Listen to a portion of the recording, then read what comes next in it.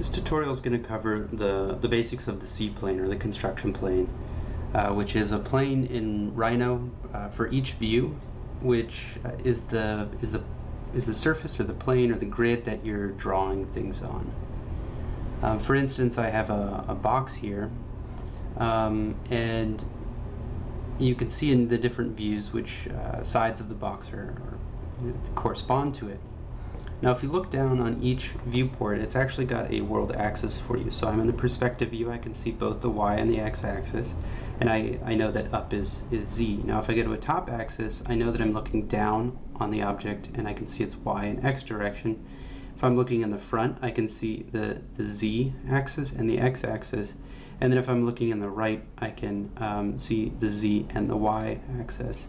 And if I set this view to, say, uh, a left view, it will tell me that the z is um, it, it's z and y, but y is going the opposite way.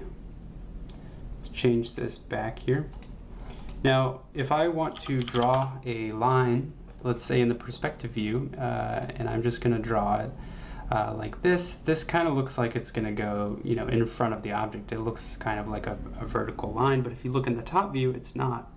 And that's because uh, we're drawing in the C-plane. So this is going to be coplanar to the, the plane that is established as the C-plane for each view. If I go to a top view, for instance, I can just draw a line and you can see it popping up in the other viewport. Uh, the top and the perspectival views share the same um, C-plane. They have the same established um, original C-plane, which is the basically the ground, the x and the y axis. If I go to something like a front view and I try to draw a, a line, you can actually see in all of the other views that it is drawing um, on a different um, axis it's drawing in the z direction. That's because the c plane is established in the z and the x. And then for the right, you can see it's um, a, a, similar um, thing is occurring. So now um, this might have looked like it was drawing in front of the object, but the c plane is actually established behind it. So how can we change the c plane? How can, how can we manipulate it to our advantage? Well, there's a couple ways. Um, one is you can use these default set um, C-plane to the world top, the bottom, the front, back, the right, etc. Uh, those are the default places that they're in right now. But we can also set it by three points. Uh, we can set it by the, we, we could change its x-axis, we can change its elevation, and we can set it to a surface or an object. Uh, the ones I like most are set C-plane by three point and set C-plane to surface. Now keep in mind that changing the C-plane in one view is not going to change necessarily the C-plane in another view. So let me change the uh, perspective C-plane by using the C-plane three-point command. It's asking me for the origin, then it's asking me for a point on the x-axis, and then it's asking me for a point on the y-axis. So none of these grids changed. I knew that right, it, you know, I would have seen the, the grid change in the right view, uh, but now the C-plane is on front of the, the, the, green plane, and when I draw an, an object, um, like a line here, now instead of being on that world ground, it's going to be um, associated with um, the C-plane that I changed it to.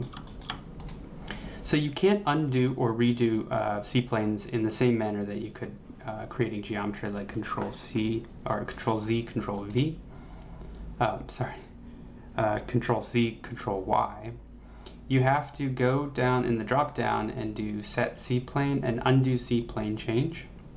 Um, or you can go to the C plane tab um, and you can undo um, or redo there, or you can type uh, C plane and use the sub command undo. And then you'll see that the C plane has um, changed. Now if I use Control Z, it just undid the geometry that I created. So let's say I wanted to change the C plane in this view.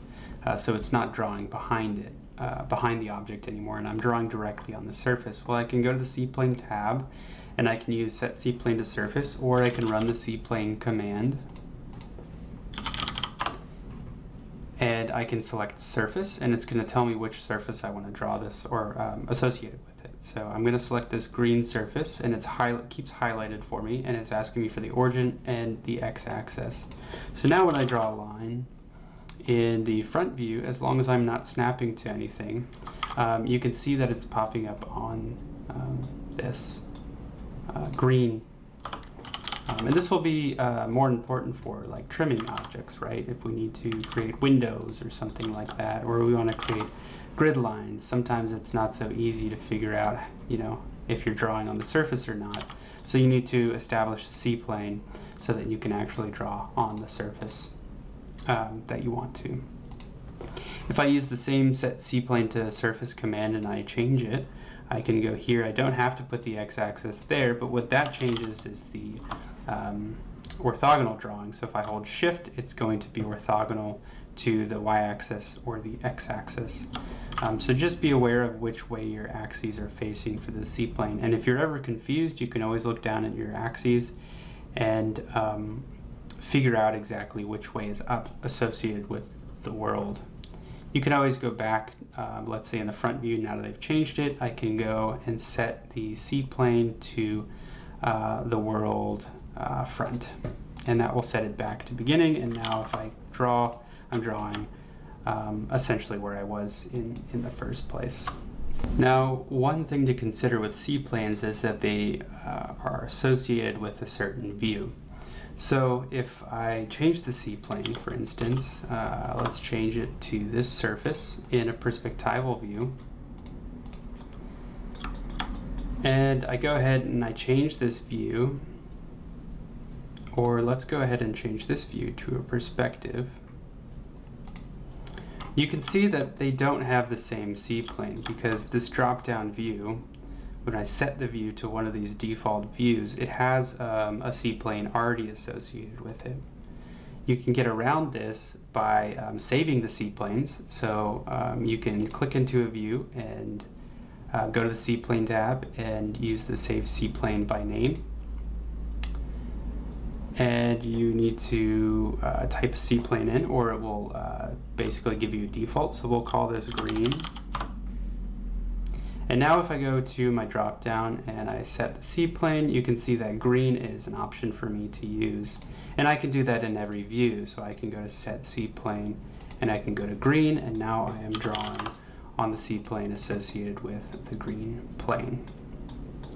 I can also save views um, after I have associated a C-plane with them. So if I call, uh, let's, let's set it to a surface here